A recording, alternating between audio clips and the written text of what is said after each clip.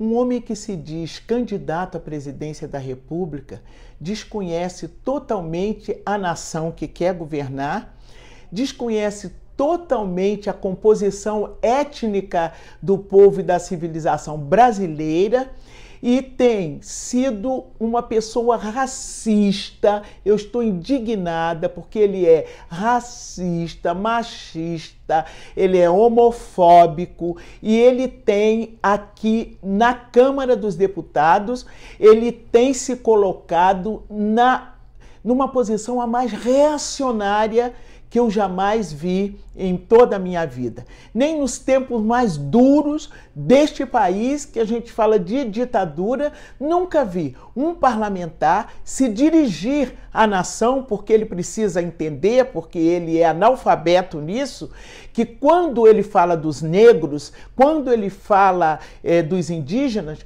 ele está falando exatamente da maioria étnica brasileira que compõe esse nosso grupo étnico miscigenado do povo brasileiro, onde a maioria somos nós, negros, onde a minoria hoje é indígena porque ela foi. É, aconteceu com a comunidade indígena um verdadeiro genocídio.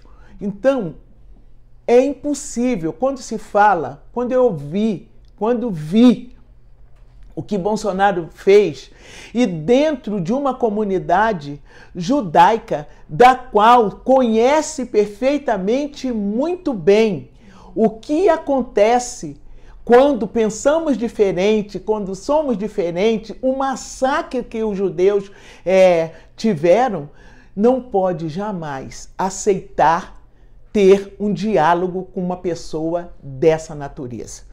Ele nos tratou como animais selvagens. Ele dizer que nós nem tínhamos condição de procriar, que é, na verdade ele visitou um quilombo e quando chegou naquele quilombo ele encontrou um negro que foi toneladas, eu nem me lembro que ele. Arroba, isso! É, que tinha não sei quantas arrobas, ele encontrou um negro que tinha não sei quantas arrobas. O que ele quis dizer com isso? Que nós somos animais, que nós somos bichos. É, é, é o discurso da Casa Grande. Ele quer a escravidão de volta, porque da forma como ele falou, dizer que não dava nem para procriação, o que é isso? O que é isso? Então, ele quer que os negros sejam tratados exatamente como eram, como eram tratados na chamada escravidão, é, escravidão legal. E isso me indignou, sobretudo, porque não é a primeira vez. Ele tem sido desrespeitoso, é desrespeitoso com seus colegas, ele é desrespeitoso com as pessoas que visitam a casa, que seja homossexual, que seja pessoas de matriz africana. Ele é preconceituoso, sobretudo com as mulheres, mas nós que somos do Rio de Janeiro conhecemos o tratamento que ele dá às mulheres e que deu à sua mulher. Eu não gosto de chegar a esse nível, mas é bom que as pessoas saibam que presidente da República vai ser esse que vai tirar os negros, que vão tirar os indígenas, que não gostam das mulheres, que não gostam de pobre e que chama todos nós de bandidos quando nós defendemos os direitos humanos das pessoas, porque nós defendemos os direitos humanos das pessoas. Ela pode ser branca, ela pode ser negra, ela pode ser homem, ela pode ser mulher, ela pode ser rica ou ela pode ser pobre. Se ela está sendo vítima de uma discriminação, você sabe que o é, é, racismo é crime inafiançável. E com, por que, que é, é crime inafiançável? porque nós entendemos que é uma coisa grave. Que convivência é essa? Que homem é esse, gente?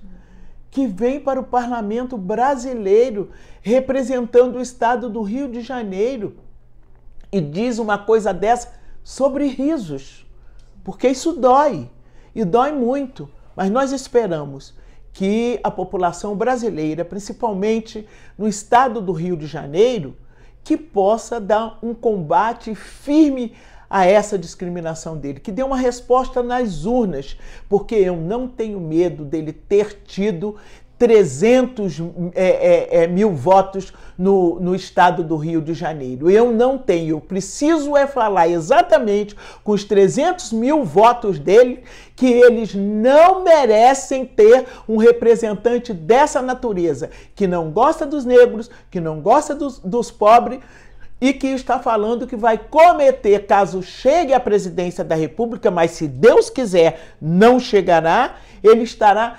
exterminando não só os direitos dos negros e dos indígenas, mas propriamente os indígenas e os negros, porque ele quer acabar com a comunidade indígena através dos bens que ela tem, das suas terras, e quer acabar com a negrada fechando todos os quilombos. Quilombos é símbolo de resistência.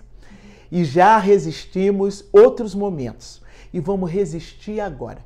Ele não verá da nossa parte mas nenhum choro, nenhuma lágrima, porque ele não merece. Se ele pensa que ele mexeu com o nosso sentimento, ele está enganadíssimo. O que nós, o que ele fez crescer em nós é a força, a coragem de reagir. Basta de racista neste país.